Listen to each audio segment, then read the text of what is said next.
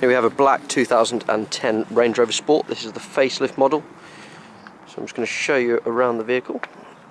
Show you around some of the options. This car's got tinted glass in the back. It's got a double load boot. So you've got the top half and then the main. It's got some lovely shag pile carpets. Under the boot floor is your driver's toolkit. Spare wheel is underneath. It's also got a pull across roller blind. Soft close boot. These lovely optional wheels. Black leather with white double stitching throughout. You've got a centre armrest in the back. Heated seats in the back. Ventilation. It's lovely dark wood. Take a step back so you can see the car fully.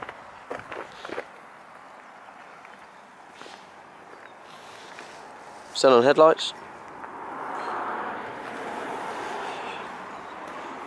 Keyless entry and keyless start as well, all operated with this remote.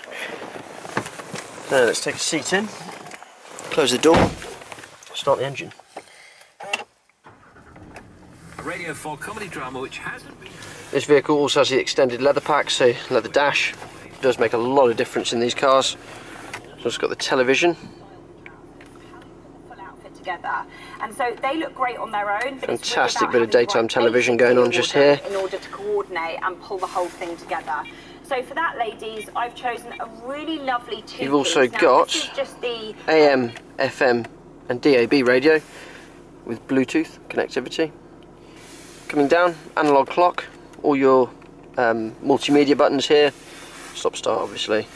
Um, CD player, got front heated seats as well as rear, dual zone air conditioning, automatic transmission with a manual override and sport mode, electronic handbrake, off-road settings, adjustable ride height suspension, hill descent control and high and low range settings for the gearbox. In here you've got a fridge, iPod and USB connectivity also, ashtray, double glove box and your original driver's book pack as well. This vehicle is also equipped with cruise control, also headlights, wipers, memory electric seats, folding door mirrors, Harman Kardon upgraded sound system. Really is a tidy, tidy car.